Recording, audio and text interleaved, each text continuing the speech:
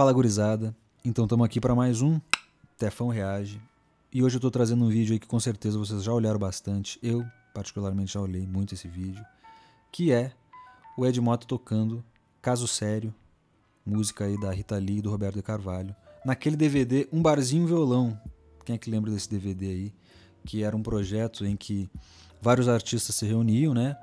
E faziam releituras de outras músicas nessa pegada mais violão e voz, né? Que eu gosto bastante. e aí, uma das versões aí que ficou muito famosa, a galera curtiu muito, justamente foi Caso Sério, né, na versão da Ed Mota. Então vamos ver aqui, vou pontuar algumas coisas que eu gostei muito, que ele, que ele faz e tal. E vamos reagir junto aí, beleza? Vamos lá. Então vamos lá, Ed Mota tocando Caso Sério. Vambora.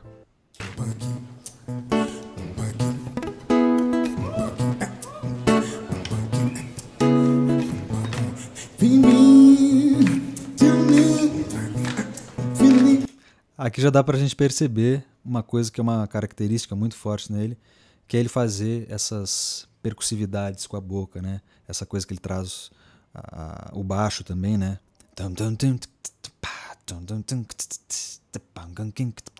Até quando a gente vai fazer uma caricatura dele, né? Vai tentar imitar ele, a gente parte sempre para esse lado do exagero nessas, nessas coisas que é ficou tão marcante na coisa na, na, na musicalidade dele que toda vez que a gente vai tentar imitar ele, a gente parte para esse lado, né? Que ficou muito marcado, assim. Mas vamos seguindo.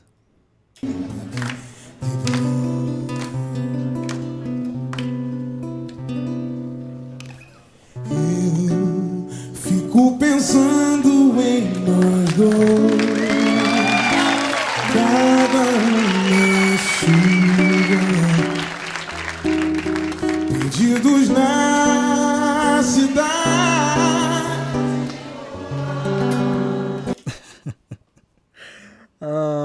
Caras, né? As caras que faz não dá, né? Às vezes, às vezes assim, quem tem essa sensação do acorde, quem toca e, e, e sabe quando encaixou um acorde assim com uma dissonância muito grande, né?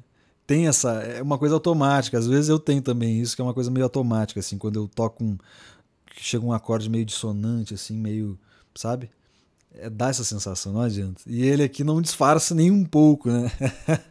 não disfarça nem um pouquinho essa sensação que ele tem do acorde ter uma dissonância muito grande. E claro que dá para já né, colocar aí o quão ficou complexa harmonicamente essa, essa versão dele e o que ele traz aí de riqueza de acordes e questões dissonantes assim é muito grande, né? É muito grande. Sem contar a voz, né? Por que falar da voz da Ed Mota?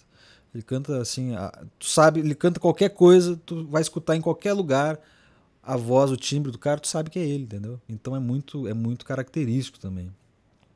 É, depois a gente fala sobre os acordes aí que ele tá colocando aí também, vou pontuar isso. Vambora. Empapuçados de amor, numa noite de verão, que coisa boa. Agora a gente vai começar aí com um tema nos vídeos, dentro dos vídeos do React, que é que acorde é esse? Então, vamos tentar descobrir aqui. Eu acho que é alguma coisa por aqui, ó. Dá pra ver que é mais ou menos um Lá menor, né? Aqui, ó. Aí ele deve colocar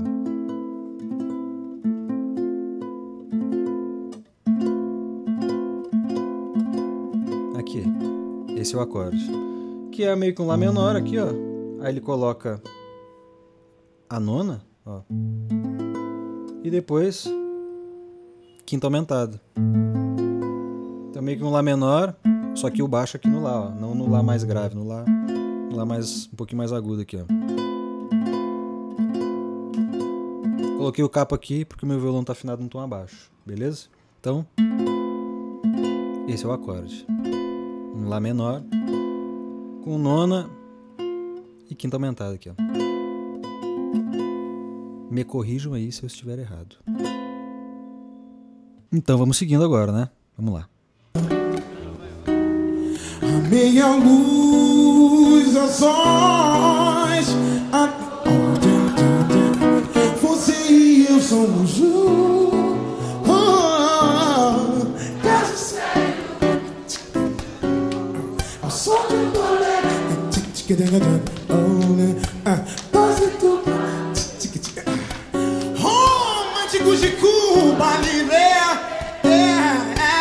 O que falar da voz dele, né?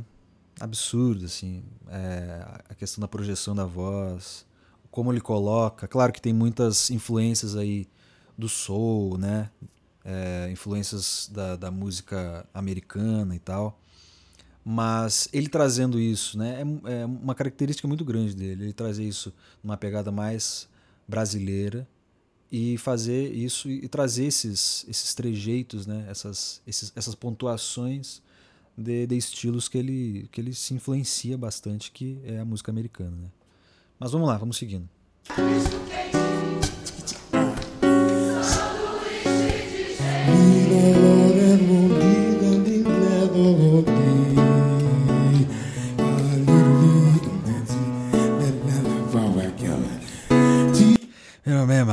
daquela.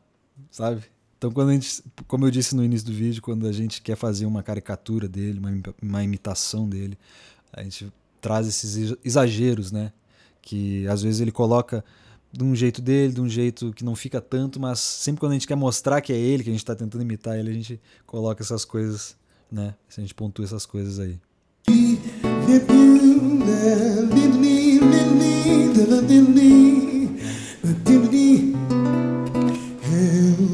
Fico pensando em nós dois.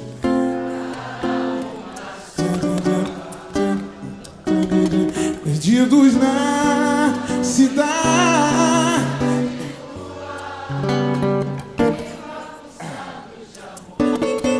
Na noite. Ele faz muito, vê nessa versão dele assim, ele nessa segunda parte principalmente, ele deixa a galera cantando e vai na dele, né? Vai fazendo essas coisas que ele adora fazer. E é muito maneiro ver a galera cantando assim junto também e azar que ele pode fazer o que quiser, não tá nem aí. De verão.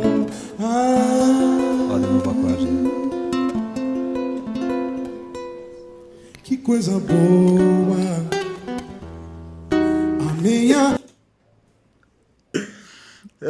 Encaixou um negócio muito bom ali, né? E ele ficou. Até ele deu uma. Até ele se surpreendeu, né? Vamos voltar aqui, ó. encaixou um negócio assim e ele. Que coisa boa. A minha Muito bom, né? Muito bom, cara. Que isso. muito bom, muito bom. luz sós. Você e eu somos um. É, eu já sei. Ao som de um boné.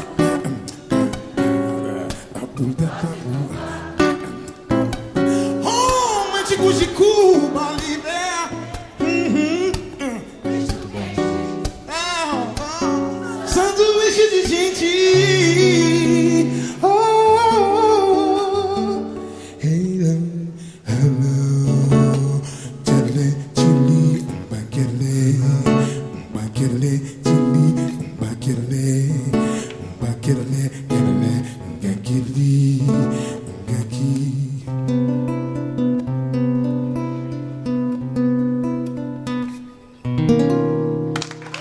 Então, o que falar dessa versão? Realmente é uma versão impressionante, assim, dessa música. Ele trouxe uma roupagem completamente diferente, muito na vibe dele, né? da- dessa questão dos acordes mais complexos, das dissonâncias, é, dos, das, das vocalizações, né?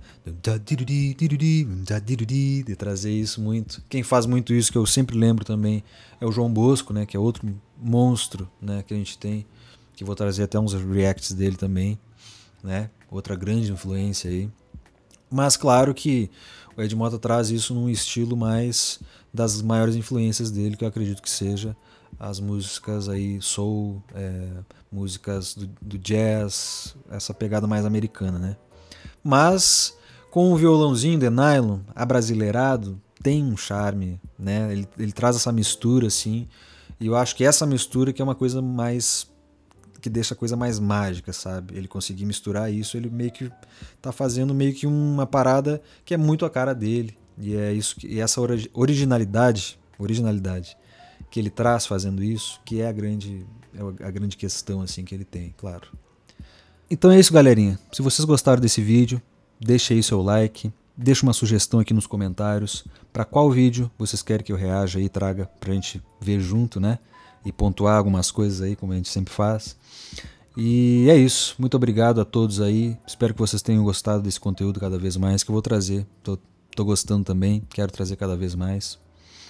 E é isso. Até o próximo vídeo aí. Um beijão para vocês. Fui.